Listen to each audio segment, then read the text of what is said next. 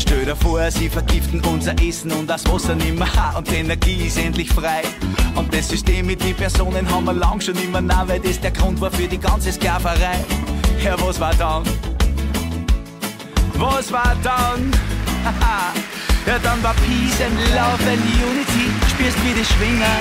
Oh yeah. Und die Welt als eine große Community, die singen Das ist jetzt vor drei Tagen was ich sagen, dass ich das gesehen habe. Äh, die sozialen Medien dürfen jetzt verwendet werden und so und alle haben sich recht gefreut und haben wieder ihre eigenen Seiten hergezeigt und so. Und dann war der Gerhard Holzinger im Fernsehen. Der Gerhard Holzinger, das war der mit den Brühen, mit den weißen Haaren, Krawatten und so. Und der hat ein Buch geschrieben. Und der Herr Gerhard Holzinger ist ein Brieffreund von die Freeman zurzeit. Das ist nämlich der Chef vom Verfassungsgerichtshof. Der kriegt diese Freeman-Erklärungen zugeschickt. Zu Handen Dr. Gerhard Holzinger. Da gingen diese Freeman-Erklärungen zurzeit hin. Äh, und der hat ein Buch geschrieben voriges Jahr, und das heißt Verfassung kompakt.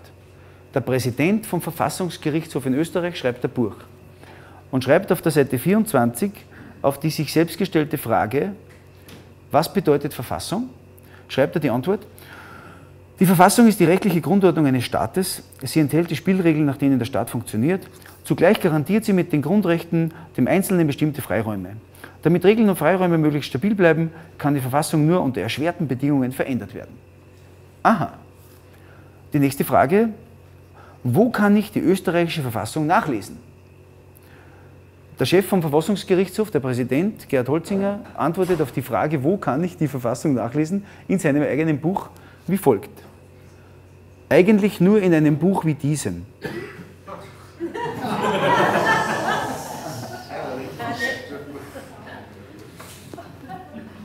Das ist Eigenwerbung. Das gilt nicht. Eigentlich nur in einem Buch wie diesem. Es gibt nämlich kein offizielles Verfassungsdokument, das alle Bestandteile auch nur der österreichischen Bundesverfassung enthält. Daneben bestehen ja auch noch die Verfassungen der neuen Länder. Die Bundesverfassung speist sich aus einer Vielzahl von Rechtsquellen. Es ist schwierig, sie alle zu überblicken. Ich meine, es ist eigentlich ein starkes Stück, oder? Ich meine, ihr seht, ich lese, ich da keinen Karl May oder Walt Disney vor, sondern das ist auch der Grund, warum, ich meine, ich frage, irgendwann frage ich, aber ist irgendwer vom Verfassungsschutz da halt? Ja, ich meine, das sind ja nicht meine Bücher, die ich da vorlese.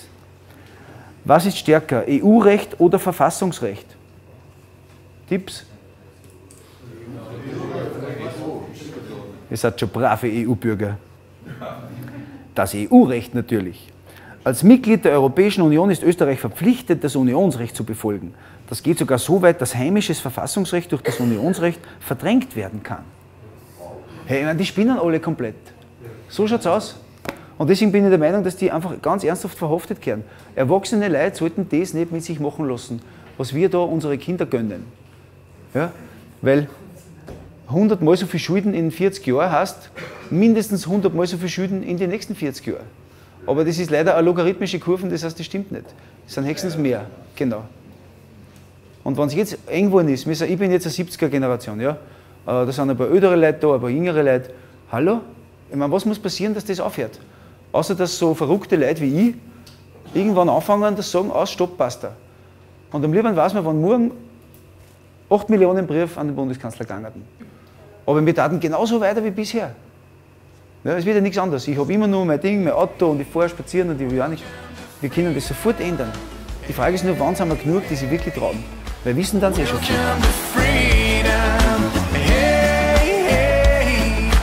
Welcome to freedom. Hey, hey, welcome to freedom.